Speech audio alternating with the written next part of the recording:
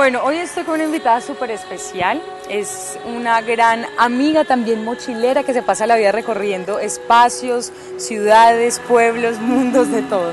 Se llama Ángela.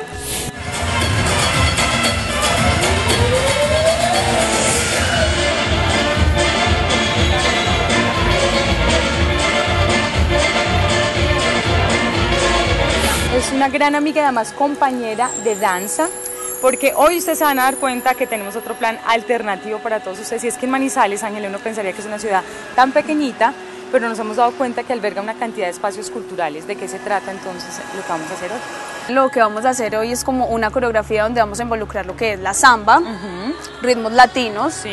algo súper colombiano, aprovechando toda esta euforia del mundial, que es una cumbia. La cumbia es perfecto. Y esa es nuestra especialidad, la danza árabe.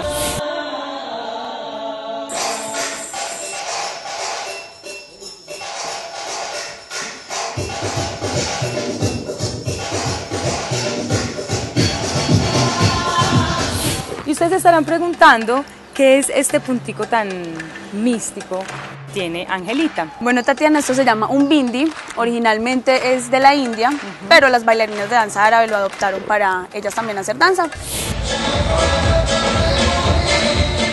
Hay como muchísimos estilos que vienen en la danza árabe y muchos vestuarios que se vienen aportando a partir de la historia, pero hay una línea que siempre se mantiene y son nuestros trajes, por ejemplo, que son de dos piezas. Nosotros en esta ocasión lo tenemos como falda, eh, velo o manto que le hemos dado como otro, otro matiz. El brasier, súper importante, eh, decorarlo como con canutillos, mostacillas. Y eh, además el cinturón, que aquí lo pueden ver más. Es llamado también el shalá en diferentes partes de Arabia.